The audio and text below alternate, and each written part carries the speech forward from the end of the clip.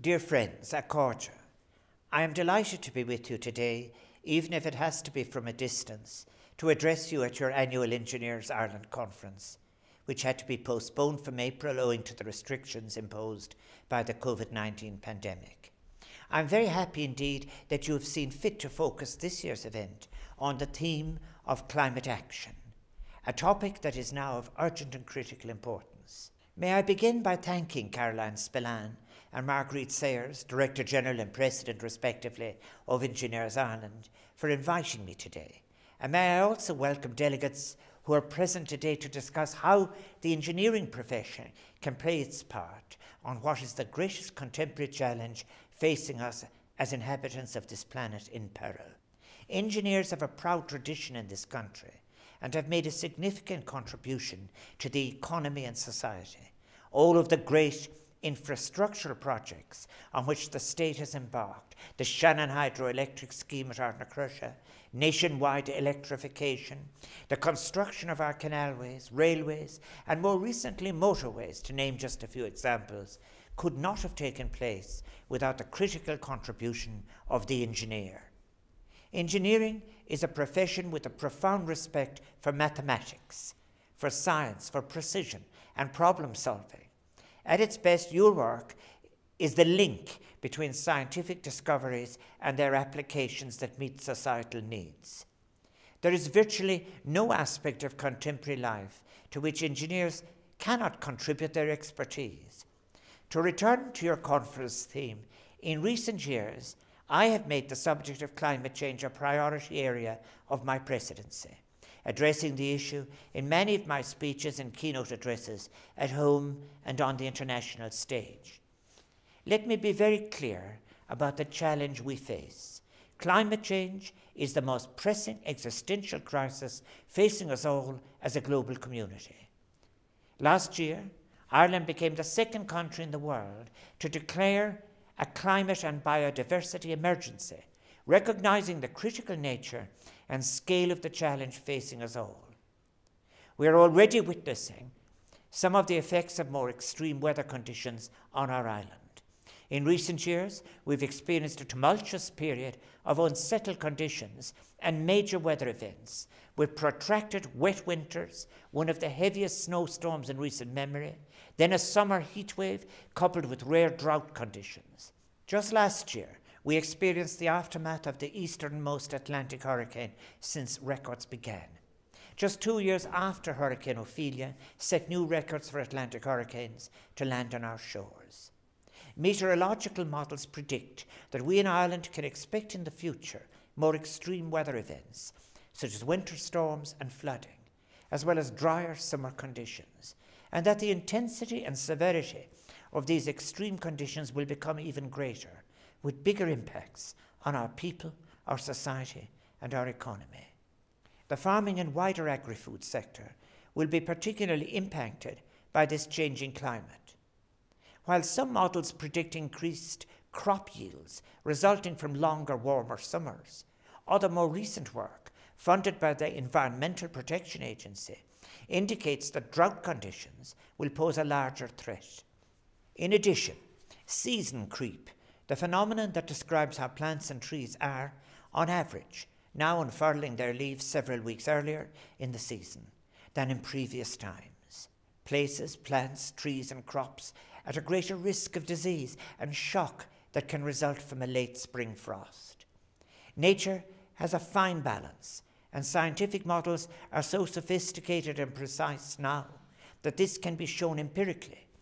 Earth's ecosystem the composition of the atmosphere, and the world's weather, our ecological systems operate in a stable equilibrium or homeostasis.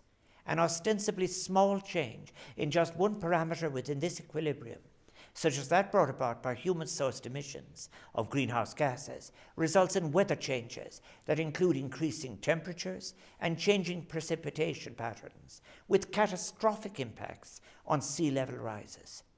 The cumulative effect of this is climate chaos with all its social and economic consequences. I suggest respectfully that the time has long passed for debate on the science, useless apportionments of blame, or idle comparisons. Action is now needed, and I ask all engineers across all branches of engineering to play their role. The Irish education system needs to generate many more engineers armed with skills needed to meet the global climate change challenge and to build a sustainable world. Engineers have a clear role to play to ensure that everyone in the world has access to clean water, sanitation, reliable energy, and safeguarded from climate change's adverse impacts, which are already manifesting.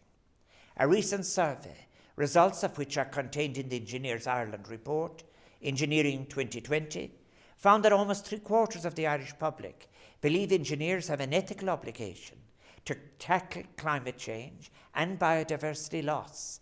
Engineers are central to sustainable development and are uniquely placed to help the world meet critical sustainable development goals. More than half of the world's GDP depends on nature, and climate change and global biodiversity loss are considered by the World Economic Forum to be two of the top five risks facing the global economy. In a landmark study, over 400 experts from 50 countries cautioned that transformative change is needed to reform and protect nature. Climate disruption is a global issue, a national issue, and a local issue, for which the window of opportunity to act is closing worryingly fast. And we as humans must take responsibility now for our role in this crisis, a crisis in which the origin can be traced back to the onset of the Anthropocene era at the start of the Industrial Revolution in the 1860s, when an insatiable and restricted consumption of the Earth's finite natural resources began. In recent decades, as consumption has intensified, we have experienced an accelerated period of the Anthropocene, and the impacts on the Earth's dwindling natural resources are now all too apparent. Rapidly declining biodiversity and accelerating climate change impacts brought about by global warming. In short, we are at the precipice of a global ecological catastrophe. Furthermore, dangerous shifts in climate are placing stress on global communities where ecosystems can no longer support populations, leading to a decline in and ultimate lack of resources for living and human flourishing. This in turn contributes to conflict, violence, and forced migration and exile. The greatest impacts will be borne by small island developing states whose very existence is at stake. Unless we collectively take action to prevent catastrophic climate change, together with a real commitment and transfer of resources towards assisting communities to prepare for and adapt to changing climates. These population flows, driven by climate shifts, will take place in a context of old and emerging conflicts that will undoubtedly be exploited by extremists. Our basic human morality suggests that it is indefensible that another 100 million people be doomed to extreme poverty by 2030 should we fail to honour the commitment to tackle climate change. The need for collective action addressing the climate crisis becomes more evident every month. The defence of previous generations that we did not know is no longer available to any of us. We must not ever forget that policies, economic, social, environmental, are sourced in assumptions and ideas as to how economies function and are connected with change and society. Over the last four decades, the theories of those such as Friedrich von Hayek and Milton Friedman have gained strength to create a paradigm of unrestrained, unregulated market dominance, a communications order with a discourse that privileges aggressive individualism without social responsibility within and beyond borders. It is a model that is the source of the exponential, insatiable growth of commodity production, consumption, accumulation, and despoilation of the planet. Professor Wendy Brown, in her 2019 book, In the Ruins of Neoliberalism, describes how, from its inception, neoliberalism flirted with authoritarian liberalism as it warred against robust democracy, repelling social justice through appeals to market freedom. Neoliberalism has sought to de democratize the state, the economy, and society, and resecure the patriarchal family. It has attacked the value of society and fetishized individual freedom, redefining the concept of freedom in a reductionist manner to market freedom as part of its legitimation of inequality. Above all, Brown argues, neoliberalism's intensification of nihilism, coupled with its accidental wounding of white male supremacy, generates an apocalyptic populism willing to destroy the world through, for example, war and aggression, ecological obliteration, rather than endure a future in which this supremacy disappears. Our prevailing economic model is, of course, unsustainable from economic, environmental, and social standpoints. It is a model that privileges the insatiable accumulation of the few at the cost of the many and their children's future. The very future of the planet itself, in terms of lost biodiversity. Karl Polanyi quite prophetically identified as far back as the 1940s that such a self governing model would have catastrophic consequences for society in its relationship to nature. Then, too, there is the real problem of short termism that pervades modern political economy, as has been noted in a 2013 report by the Oxford Martin Commission for Future Generations, an interdisciplinary research community focusing on global challenges. Future generations, or those not old enough yet to vote, do not currently have large political or economic influence, the Commission correctly notes. A lack of political capital is a major impediment to securing policy change. That is why it is so heartening to see the youth of today, personified by individuals such as Greta Thunberg, spearheading a new movement with courage and assertiveness. An inability to plan for the long term, or incorrect myopic or narrowly focused planning, will have devastating consequences for future generations. The choices that we make individually or via the apparatus of the state through policies that we develop and adopt on areas such as energy, water, greenhouse gas emissions, cities, planning, models of business, all areas of importance to engineers, will determine the options that will be available to the generations to come. The state has a huge and potentially very positive role to play in all of these policy decisions.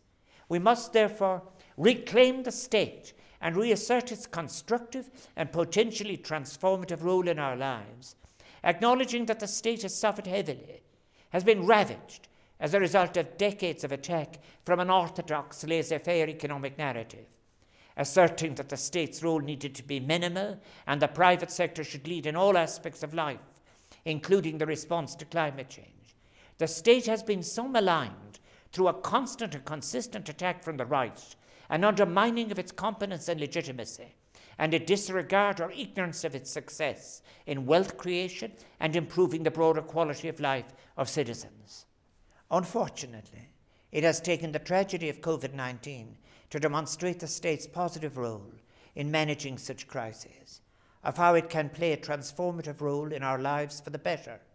The erosion of the state's role, the weakening of its institutions, and the undermining of its significance for over four decades has left a less just and more precarious society and economy, ill prepared for seismic shocks such as COVID 19. But I believe there is now a widespread recovered recognition across the streets of Europe and indeed beyond of the state's benign and transformative capacity. As Mariana Mazzucato has demonstrated so brilliantly in her book, The Entrepreneurial State, government investment and the state more generally has played a central, often critical role in driving innovation and technological developments, including in the areas of climate change, sustainability, and environmental protection. Imagine a world without environmental protection agencies. I see the state leading in climate action, setting an example on climate mitigation, resilience, and adaptation, the Irish state must lead by example if it is to have any credibility, any realistic hope of bringing its citizens with it on the difficult journey to a decarbonised future. Government departments and state agencies must be exemplars in climate mitigation, given the whole of government approach needed to curb our carbon emissions, as well as in climate adaptation, given the state's pivotal role as owners of land and infrastructure, which is likely to be impacted by climate change. The neoliberal model of economics that has dominated policy for almost 40 years has been shown from the perspective of its social outcomes, empirically researched, to have deepened inequality, impacted negatively on the poorest, but also from an ecological perspective, it makes achieving sustainability near impossible. It is built on an assumption of exponential growth and leaves existing consumption models unrevised. I am not alone in arguing this thesis. Scholars such as Paul Burkett, John Bellamy Foster, and James O'Connor have examined the nature, variability, flexibility, and reformability of capitalism in the context of transitioning to sustainable well being, and all have concluded that the mere placing of a new green lens on the existing orthodox growth model will not suffice. Paradigm shift, not reform, is urgently required. There is an alternative paradigm which is gaining acceptance as our only realistic alternative to avoid the continuation of yawning inequality and ecological devastation.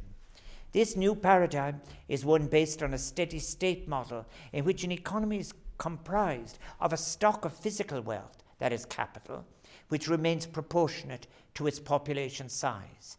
Populations can continue to rise in this paradigm without the need to further exploit and destroy natural resources because of the positive role that technology and resource decoupling, such as improved energy efficiency, can contribute to improve the productivity of our capital stock, our natural endowments. A steady state economy does not necessarily result in economic stagnation and falling living standards. Economic stagnation is the unexpected and unwelcome failure of uncritical use of a growth economy concept, such as that which we witnessed as a result of the financial crisis in 2008 and the resulting so called Great Recession that impacted so disastrously on our country. Rather, what I propose is established as a result of deliberate political action, recognizing the inherent flaws of our current model of growth ad infinitum. I argue, therefore, that a radical paradigm shift is required in the connection between ecology, economics, and society, one that combines the radicalism that is in the consciousness of climate activism with the consciousness of egalitarianism and the programs of inclusion activists. I support calls for a new ecological social paradigm, such as that being advocated by scholars including Professor Ian Gough of the London School of Economics, Kate Raworth of Oxford University, and others. Their approach offers a new, recovered version of political economy. And may I suggest that all third level institutions and places of education should facilitate it being taught across the social sciences, and thus enable such an integrated, sustainable paradigm becoming available to inform policy. Consideration of a new ecological social paradigm recognizes the limits of the world's natural resources, as well as the role that unrestrained greed has played in creating the climate crisis. In his book, Heat, Greed and Human Need, Professor Ian Gough outlines how this alternative paradigm is rooted in the concept of human need over greed, moving away from models that take insatiable consumption and unrestricted accumulation as inevitabilities. The paradigm advanced by Professor Gough and others is framed around the three implicit goals of welfare states redistribution, social consumption, and social investment. Gough advocates for gender equality, income redistribution, a reconfigured social consumption, and crucially, for an investment strategy that transfers resources and technology from rich countries to developing countries these are the key means by which to achieve versions of an eco social welfare state. How can we achieve a fair distribution of well being while staying within environmental limits? Our overriding goal must be to remain within what Kate Raworth has described as a safe and just space for humanity. This means we can improve human well being on a global level while simultaneously preserving the preconditions for a safe, healthy planet and the future well being of its peoples. Kate Raworth's donut economics captures the essence of this new paradigm a social foundation of well being that no one should fall below, and an ecological ceiling of planetary pressure that we should not go beyond. Between the two lies a safe and just space for all. A key element of Raworth's argument relates to economic growth. If GDP is to continue growing in high income countries, its associated resource use must fall not just relatively or absolutely, but sufficiently absolutely to stay within planetary boundaries. Failure to achieve this level of resource decoupling implies that degrowth remains the only sustainable strategy for planetary survival. Professor Ian Gough correctly identifies that welfare states will need to forge new policy instruments, eco social policies, that underpin such an economic paradigm. These must simultaneously pursue both equity, social justice, and sustainability sufficiency goals within an activist innovation state with substantial public investment and greater regulation and planning. Investment functions of social policy must be enlarged, therefore, to become more closely integrated with climate action investments. The important role that investing in nature can play in achieving a more sustainable, resilient, and healthy world must be recognized by governments. This may, as Professor Gough has stated, require tipping the balance of the economy from private to state investment. This is now occurring as a consequence of COVID 19. And it is so critical that any COVID related state bailout or investment is ecologically sustainable, and that funding to business is conditional on a greening agenda, as Mazzucato has advocated. This is a central point. We need the state to lead, to be activist, interventionist, and innovative, but also to demonstrate ecological responsibility. This requires substantial public investment and greater regulation, enforcement, and planning. Subsidies and other incentives to private investment in climate action should not necessarily be seen as deadweight by default.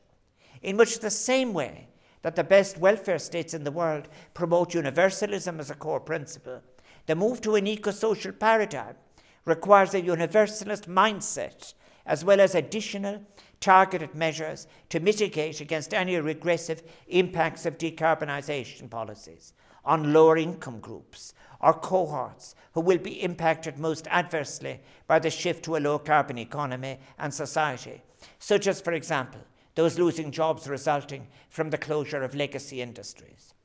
In Ireland, this will mean that those impacted by the closure of an unsustainable carbon intensive electricity production, for example, must be offered reskilling opportunities to enable them to find suitable jobs in other areas, such as the green economy, or upskilling opportunities that can achieve sustainable incomes in other parts of society. A model for such a just transition has been made available to us by the National Economic and Social Council, whose recent report 149 provides a framework within which the transition to a new political economy may be a just transition. Intergenerational equity, that is fairness between generations, is key too. Back in 1987, the Brundtland Report asserted that humanity has the ability to make development sustainable, to ensure that it meets the needs of the present without compromising the ability of future generations to meet their own needs. Such a conception of intergenerational equity is entirely consistent with a climate justice approach which links human rights and development to achieve a human centered approach, safeguarding the rights of the most vulnerable and sharing the burdens and benefits of climate change and its resolution equitably and fairly. The Mary Robinson Foundation for Climate Justice argues that intergenerational equity can serve as a unifying theme that connects developed and developing countries, young and old, to advocate for bold action on climate change. It is this awareness of the implications of our actions or inaction on future generations that increases the demand for an urgent response to the climate crisis. The onus, the moral imperative, is on us all now to make the necessary changes to our lifestyles. Some may be costly and difficult, others relatively painless, if we have any sense of intergenerational climate justice, and if we are to have any hope of avoiding the bequeathment to the next generation of a hostile and volatile planet Earth. As to society, there is a powerful new sociological literature emerging that supports this change in theory, practice, policy, and indeed life itself.